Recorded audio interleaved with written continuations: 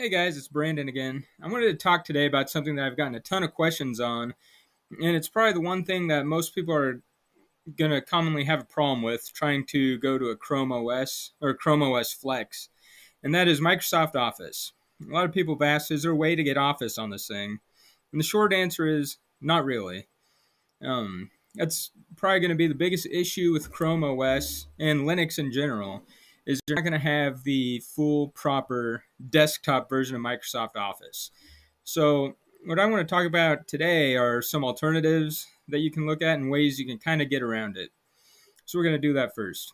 Um, one thing that all these Chrome OS devices come with, obviously, is Google Docs. This is Google's version of Office. Um, they have a Word knockoff. They have an Excel knockoff. They have a PowerPoint, and they're, I think, generally pretty capable.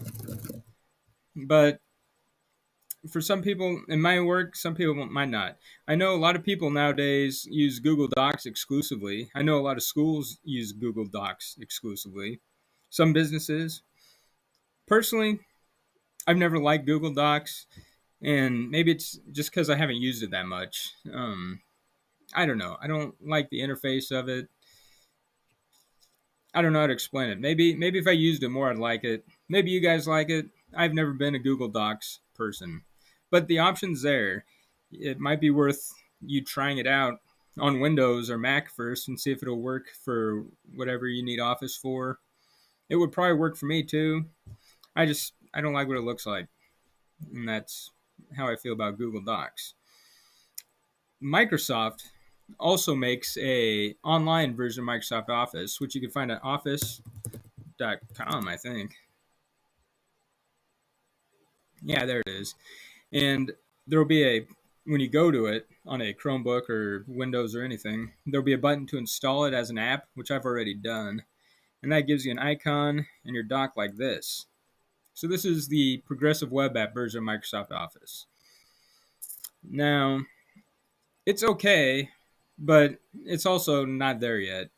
Um, when you click on this plus, you can make a new Word, PowerPoint, Excel, or these other things which you'll probably never use. There's no Microsoft Access, so if you need a database, that's not happening. But if I clicked on make a new Word document, you get a facsimile of Microsoft Word, and it works. And the thing about it is you can go to save as and you can save it into your Microsoft Cloud or you can export it to your device. And it kind of works too.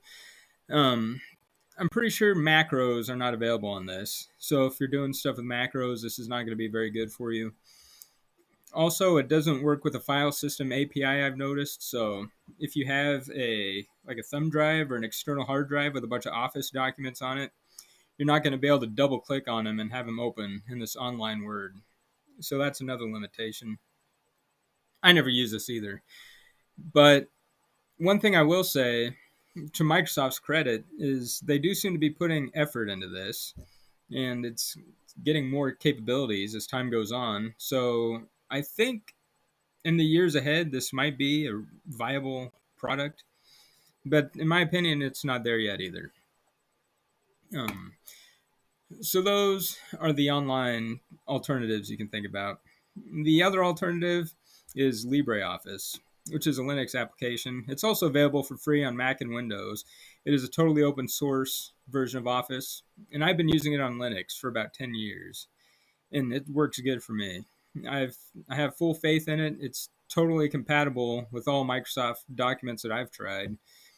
And because of it, I haven't had real Microsoft Office in, like I said, 10 years or more. And I don't have it installed right now, but if you want to install it on a Chrome OS, I'll just show you real quick. You uh, first you have to install the Linux environment. If you want help on doing that, you uh, I have a video called "How to Install Linux Apps on Chrome OS." Check that out. I also install LibreOffice in that video. But once you have the Linux environment set up, the first time you open it, it takes a minute to load. However, installing it's very easy once you get this. When you're at your uh, command prompt, you just type apt apt. Oh wait, first you need sudo apt install LibreOffice, which is L I B R E O F F I C E. Enter. You say yes to install, and it'll probably take about 10 minutes. Maybe less. Um, I actually sat there and waited for the whole install in the other video I mentioned, which you can check out on my channel, and it works. And so that's another thing you can try, and that's one you can also test out on your Mac or Windows before trying to dive into Chrome OS. But it works. Um, I think it works pretty good on every file format I've tried throwing at it. Um, I run a software business. Some of you might may or may not know that, and I've been doing everything totally from LibreOffice, like I said, for 10 years. So I think it's fine.